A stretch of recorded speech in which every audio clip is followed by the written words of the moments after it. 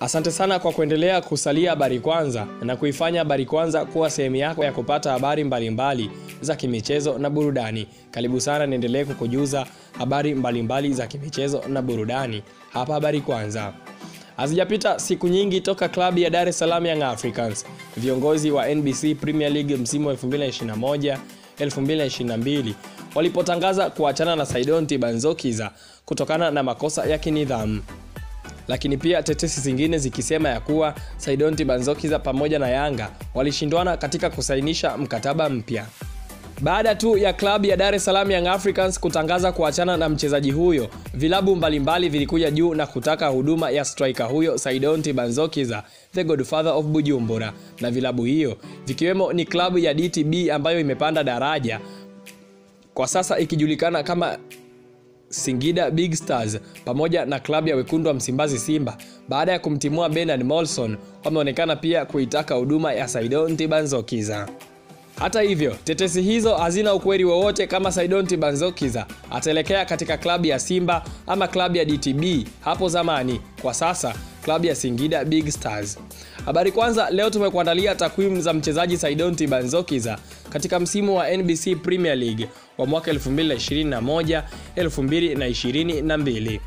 Saidon Ntibanzokiza katika msimu huu wa 2021-2022 amecheza michezo takribani 19 katika klabu ya Dar es Salaam Young Africans. Michezo mingine akicheza katika dakika 90 zote za mchezo, na katika michezo mingine amekuwa akitokea substitution, yani akitokea sabu. Michezo mingine ana uwezo wa kuanza mchezo ndani ya dakika 70 ama kuendelea. Katika michezo 19 aliyocheza Saidon Tibanzokiza amefunga magori saba lakini pia katika michezo hiyo 19 Saidon Tibanzokiza ametoa assists takribani 4. Katika michezo hiyo 19 amehusika katika magoli 11 ya klabu ya Dar es Salaam Young Africans, yaani ikiwa ni jumla ya magoli saba pamoja na assists 4. Goal per game, yaani uwezekano wake wa kupata goli katika kila mchezo ni asilimia 0.37. Assist per game, asilimia yake ya kutoa pasti inayosababisha goli ni 0.21.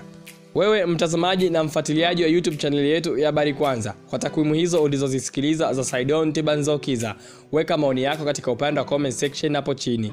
Je, unahisi Saidon Tibanzokiza alikuwa ni mchezaji muhimu sana katika klabu ya Yanga na itakuwa ni hasara kwa Yanga kuachana na mchezaji huyo au Yanga imefanya vyema kuachana na Saidon Tibanzokiza? Na je, unahisi kwa takwimu ambazo nimekutajia hapo za Saidon Tibanzokiza atahitajika kucheza katika klabu ya Simba na atafaa kuwasaidia Simba au katika klabu ya DTB hapo zamani, kwa sasa Singida Big Stars?